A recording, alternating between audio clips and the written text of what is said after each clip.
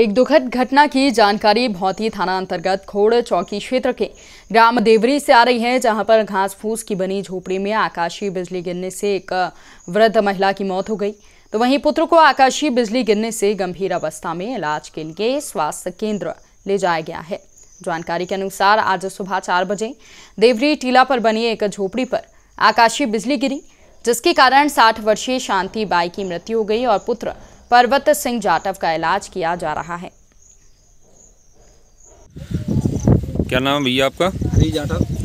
अच्छा ये बताइए क्या हुआ है रात में? क्या कैसे क्या बिजली गिरी है? ये चार बजे बादल तड़का है हम्म, ये मेरा बड़ा भाई पर्वत सिंह जाटव घायल हो चुका है। हम्म, उसे मैंने अस्पताल भेज दिया।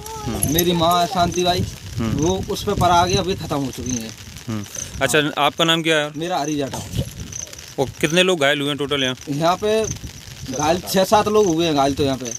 और और क्षति नुकसान क्या हुआ है तुम लोगों और ये ये ये पूरी टपैया उड़ गई दोनों और दुकैया मौके पर ही मौत हो गई खत्म।